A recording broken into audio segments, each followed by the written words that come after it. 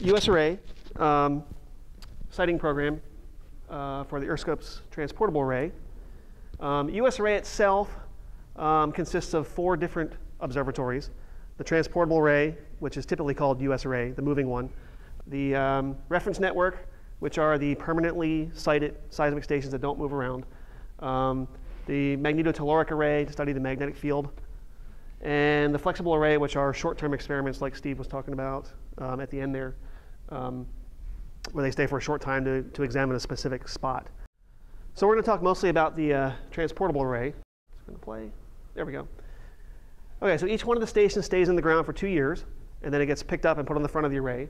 So as we go across, we'll eventually cover the entire continent of North America in the US. And we're about to here now. And then we'll head over to Alaska. So there'll be about uh, 1,600 sites throughout the US, and they stay for two years. So in the two year time, they're picking up earthquakes from all around the world and able to um, examine the structure under North America by the way those seismic waves come up from different parts of the world. So we're getting sort of a, almost like a CAT scan of the US um, with it slowly going across. Right, so how do you get 1,600 seismic stations sited across the US? It's not an easy task. Um, and like Steve was saying earlier, um, you've got geology in place to uh, worry about, and you've also got people in place to worry about, landowners, and you've also got buildings and other things in place. So one of the ideas was that uh, way back in the beginning, uh, the thought was that uh, only professional seismologists could do this project because they are the only ones that are capable of finding the sites and installing the equipment and knowing where to put it. And the thought was that's going to be really hard um, to get professional seismologists all across the country um, to go do this. So the thought was, well, we have all these grad students who need work and have nothing to do during the summertime. So why couldn't you have grad students go out? They love to drive around and uh, look at the landscape in the country and let them do all the work of siting the locations for it. And that's what we try to do. Um, have uh, students do the siting uh, in cooperation with uh, a principal investigator from a university who was sort of managing the project for them. The siting was divided up into manageable pieces for folks uh, to do. The universities would help find the sites in their region. One of the benefits is the students are familiar with the area that they live in. Um, so it's much easier than somebody coming from out of the area to find it. Uh, the siting areas um, ideally should be 70 kilometers apart. Um, there was sort of an error bar of a circle around it that would be okay sites to do. So already the area that could be chosen was narrowed down to uh, a smaller region around that 70 kilometer dot uh, for folks to pick. And then it was divided up. There was about 120 students who helped us with it, about 50 universities uh, over the course of the project. They sited about 1,200 uh, sites. And typically, uh, the college that was working with us would hire some students, typically two or three, to go out. Uh, the student teams would receive about three and a half days of training on how to select good sites, how to use the GPS equipment to uh, locate the possible chosen sites, how to talk to landowners uh, if they found an area that was like an optimal spot within that 75 kilometer spacing. Uh, it might be somebody's field where they farm. and uh, you can't just drive up and plop a seismic instrument in their yard and say, it's going to be here for two years, thanks, without their help and cooperation. So uh, part of the training also was uh, public relations in chatting with folks and uh, getting them on board to help us with the project. Um, and then they, about nine weeks during the summer, going around to all their sites, checking, uh, suggesting places. So just last summer, uh, here are the universities that helped us on the East Coast, uh, including College of Charleston, and there was their area for it. So it's a fairly large area to drive around in nine weeks and pick out sites. So in each of these dots, um, that was the optimal spacing for the, for the sites. And around those sites, there would be sort of an error area where they could find, find something close to this, as close as you can to the middle. Um, they would head out, um, find a site, mark it with a, a, GPS longitude, latitude, location, and then send that back to the PIs, and they would decide whether that was a good site or not. So when you head out to a, to a station, that's, that's about all we're going to see on the trip, right? And there's the solar panel. We're not even going to see the solar panel. So I don't think it's hooked up yet. So there's, there's a nice pole, a nice silver Festivus pole with uh, nothing else there um, for it. So the, the actual site itself, there's a completed site, um, is not very large. That's about what, three feet across? Ish, yeah, three feet, meter across.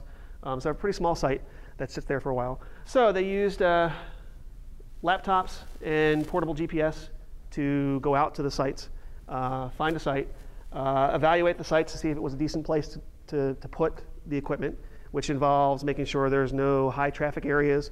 Uh, it's not an area where folks can get to it and possibly wander off with a nice free solar panel for their house. Um, and, and also sort of a quiet location where you get good scientific data. So not next to roads um, where lots of cars and trucks are going by, or train tracks, um, which would make the data less useful for it. Uh, they'd submit their reports and then uh, hopefully enjoy having sited all the spots and also have fun while they're out there.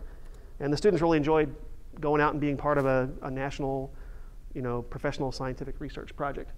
Um, so some of the outcomes was it allowed us to identify a large number of sites at relatively low cost. Graduate students are cheap. the uh, landowners became volunteer hosts for the sites. So for uh, almost all of them, um, there was no cost involved in us using their land to put the site on. And in fact, uh, many landowners were, were really excited to be part of a, a, science project in their backyard. It became sort of their seismic station uh, with things. And then it was also engaging the next generation of earth scientists, which were the grad students helping us out, who will become the PIs in the future. Things. Um, and then we also do some things for the landowners. Uh, we produce a publication called On Site, uh, which describes some of the research that's happening. Um, we the landowners can go online and see a web display of data from their particular seismic station. So when there's a big earthquake in Japan, they can go look at the data that their station detected uh, from that earthquake.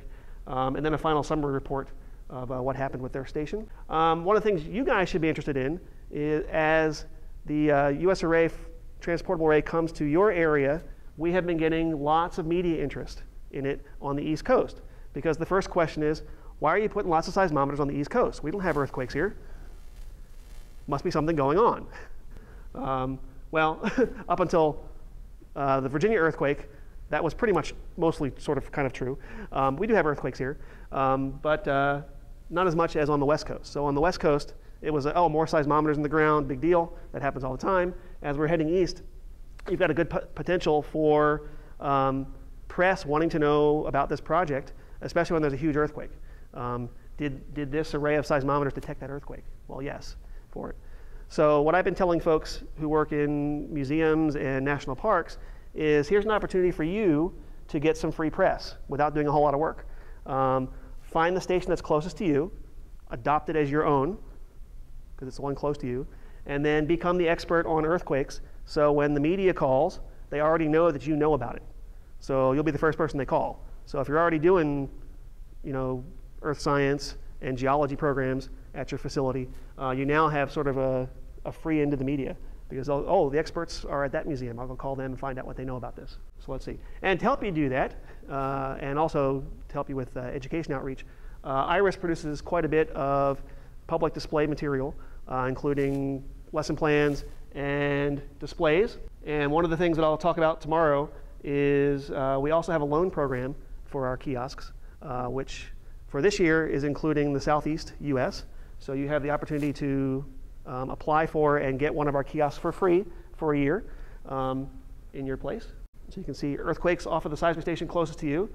Uh, and then our displays have a lot of regional seismology uh, and geology information, Cascadia Basin Range, New Madrid, EarthScope. Uh, we're working on additional content, including East Coast geology. And then lots of folks help us to create the content for things.